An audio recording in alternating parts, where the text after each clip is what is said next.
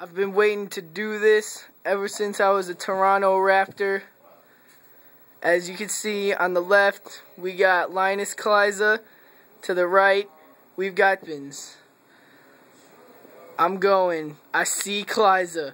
I've been waiting for do to do this, and here we, here it is. Kliza to Kleiza on the oop. I've been waiting to do that ever since I became a Raptor and it finally happened. I can finally say I ooped my my someone related to me.